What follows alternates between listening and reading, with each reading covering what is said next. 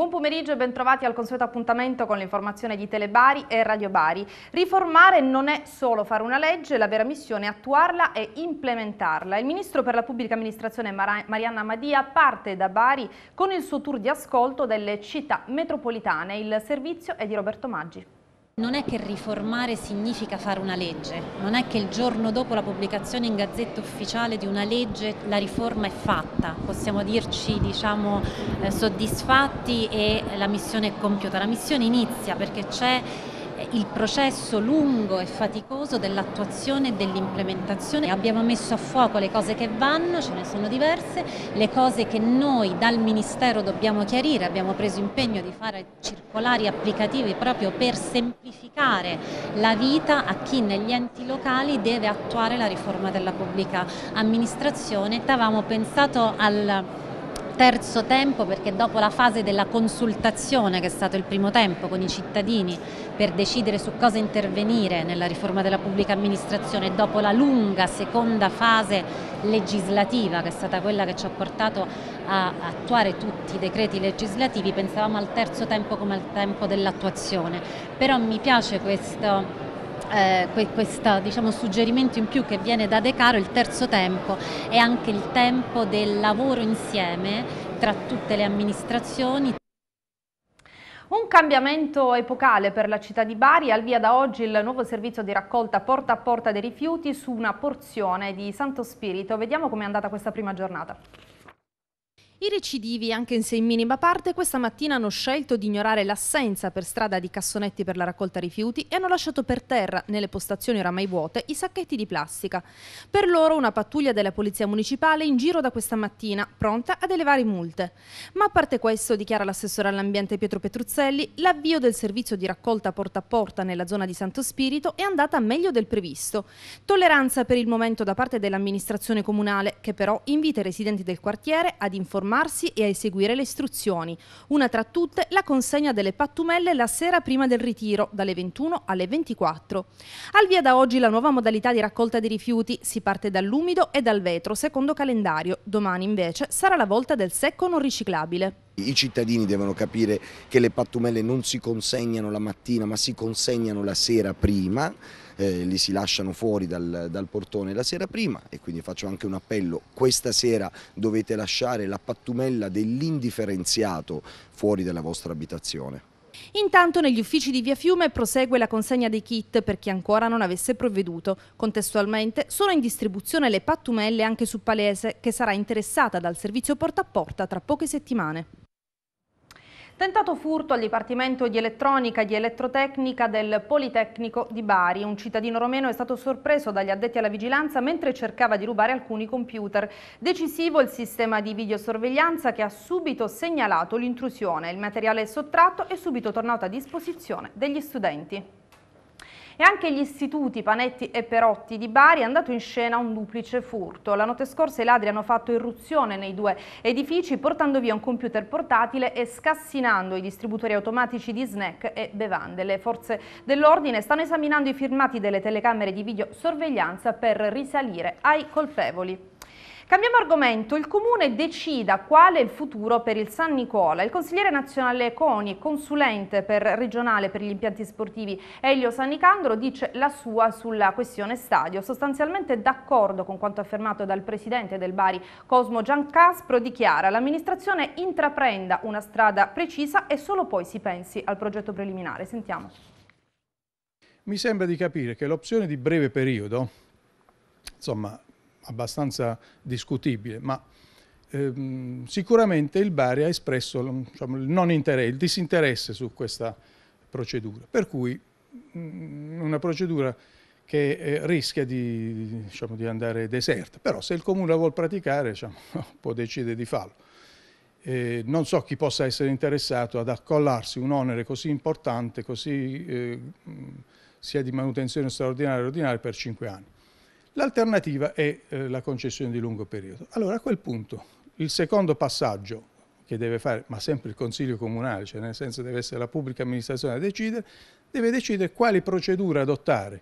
Quindi può essere una procedura di affidamento diretto, che è anche una procedura plausibile. Ci sono dei precedenti, per esempio la Juventus a Città di Torino, lo stadio lo ha affidato in affidamento diretto, concordando i termini.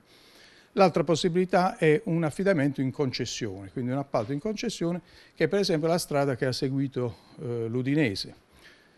Credo siano 90-99 anni e anche lì attraverso un'evidenza pubblica c'è stato un bando in concessione. Sento parlare di project finance, ma il project è un'altra procedura. Quindi secondo lei il Presidente Giancaspro quando dice io non sono un benefattore, prima ditemi che strada intraprendete e poi io pago i progettisti per il preliminare, ha ragione? Beh, mi sembra di sì, cioè nel senso che se il, se il, comune non ha le idee chiare su che tipo di bando fare, non è che si può pretendere che la soluzione gliela trovi il, il privato, anzi sarebbe anche abbastanza, dire, discutibile. E continuiamo a parlare di Stadio San Nicola, lo facciamo in collegamento telefonico con il consigliere di opposizione Fabio Romito. Innanzitutto ben trovato consigliere. Buongiorno e buon pranzo a tutti gli ascoltatori che ci stanno seguendo. San Nicola, dicevamo, il presidente Giancaspro chiede rassicurazioni al comune che a sua volta chiede al patron del Bari una integrazione documentale. Abbiamo sentito poco fa il consulente del CONI, Elio Sanicandro, che sostanzialmente dà ragione al presidente Giancaspro. Prima l'amministrazione decida quale il futuro dello stadio San Nicola e poi si può presentare il progetto preliminare. Lei come la vede? Facciamo un passo indietro. Il Presidente Giancaspro ha, detto, eh, ha dichiarato di non essere un benefattore. Allo stesso modo io penso che il Consiglio Comunale non può essere paragonato alla Fate Bene Fratelli SRL, perché il Consiglio Comunale di Bari amministra i soldi, i denari di tutti i cittadini baresi, per cui noi dobbiamo avere un sacrosanto rispetto. Quindi fatta questa premessa, io poi vorrei sottolineare un dato, eh, l'attuale concessione del San Nicola scade il 30 giugno, quindi fra pochissimi giorni.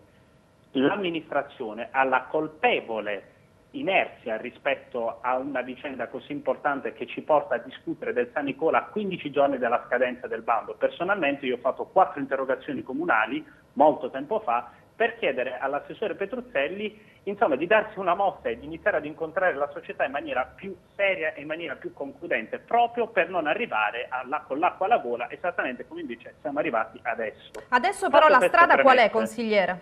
Fatta queste premesse, per quanto mi riguarda, è evidente che la società di calcio voglia avere delle garanzie sull'intenzione del Comune di Bari di dare una concessione e andare verso un'evidenza pubblica a più anni, quindi non a cinque ma è altrettanto evidente che per il comune di Bari, e io in questo momento parlo da tifoso prima ancora che da consigliere comunale, è altrettanto importante avere delle garanzie da parte del presidente Giancaspro, perché uno studio di fattibilità come quello che è stato presentato al comune di Bari e che prevede introiti per diverse decine di milioni di euro, senza capire bene da dove vengano queste decine di milioni di euro di introiti, evidentemente, a mio giudizio, deve passare anche da una programmazione che sia di carattere sportivo. Grazie. Perché è difficile immaginare 30 milioni di euro di introiti con una Serie B mediocre come quella che siamo stati abituati a vedere in questi ultimi due anni.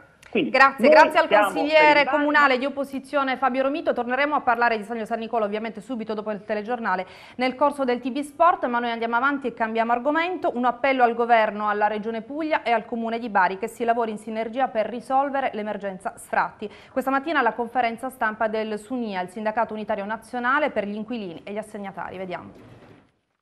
6.401 richieste di esecuzione di sfratti in Puglia solo nel 2016, più del 23,24% rispetto all'anno precedente. Di questi, ben 1.644 sono state eseguite con l'intervento dell'ufficiale giudiziario. I dati del 2017 non sono ancora disponibili, ma tanto basta per parlare di emergenza. Dal SUNIA, il Sindacato Unitario Nazionale Inquilini ed Assegnatari, arriva l'allarme. Il governo faccia subito qualcosa. Non solo non esiste un piano casa nazionale finanziato con risorse costanti, ma si è anche smesso di finanziare il fondo di sostegno all'affitto ignorando le difficoltà delle famiglie e solo in Puglia ad aver partecipato al bando sono più di 50.000. Ma l'appello è anche per la Regione e per il Comune, al Presidente Emiliano affinché finanzi, come promesso e con risorse regionali, il fondo di sostegno all'affitto di 15 milioni, all'amministrazione comunale di adeguare invece il piano casa ai nuovi fabbisogni. C'è necessità di uh, misure strumentali che uh, siano certe. A livello complessivo, a livello verticale, dalla, dalla, dallo Stato alla, ai comuni. Uh, allo Stato chiediamo finanziamenti uh, sicuri in edilizia pubblica, chiediamo che uh, il reddito, il canone pagato dalla, dagli inquilini venga portato in detrazione, come succede per i mutui, come succede per altre situazioni, in questa maniera creando un conflitto di interessi e recuperando anche nero, E siamo alla sanità, il Policlinico di Bari inaugura la nuova sede dell'oncologia ed ematologia pediatrica. Tra le novità l'attivazione dal prossimo settembre del percorso per trapianti di midollo osseo per i piccoli pazienti. Vediamo.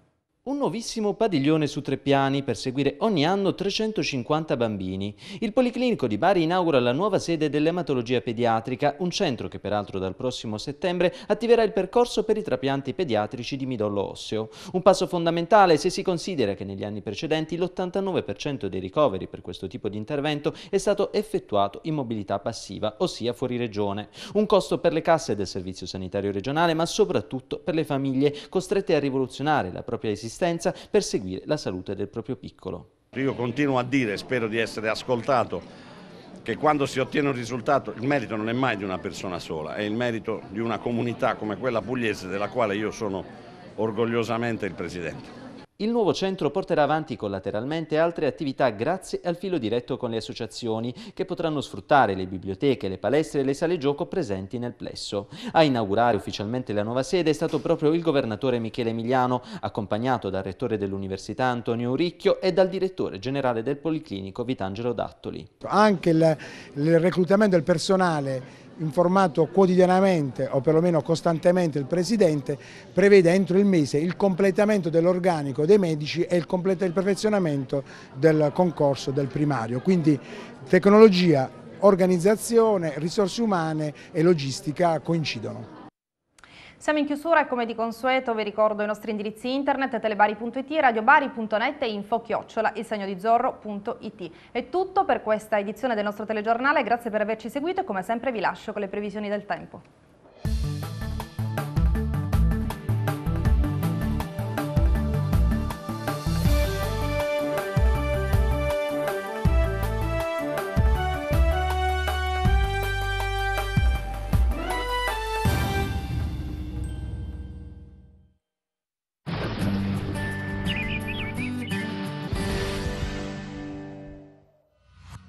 Amici Trebi Meteo, bentornati a questo aggiornamento delle nostre previsioni per la giornata di martedì che a livello europeo vedrà una zona di alta pressione consolidarsi sulla parte centrale del continente andando a coinvolgere anche l'Italia, quindi a parte qualche temporale sulle zone montuose non capiterà nulla di particolare. In effetti la nuvolosità prevista sul Mediterraneo e sull'Italia sarà del tutto scarsa, qualche annuvolamento che si formerà sia sull'Appennino che sulle Alpi, specie nelle ore centrali del giorno, ma per il resto ben poco da segnalare, insomma cielo sereno, poco nuvoloso. Precipitazioni anche loro quasi del tutto assenti, qualche locale acquazzone temporale si formerà nel pomeriggio sulle zone montuose, dapprima sulle Alpi occidentali, in estensione poi piano piano un po' a tutto l'arco alpino, però fenomeni localizzati classici temporali estivi, nulla di più. E quindi vediamo in definitiva che giornata sarà, con cielo sereno poco nuvoloso da nord a sud, diciamo qualche breve acquazzone solo in montagna e temperature che però attenzione tornano a guadagnare qualche grado, in particolare al nord supereremo decisamente i 30 gradi gradi. Con questo è tutto, per dettagli vi aspetto su trebimeteo.com.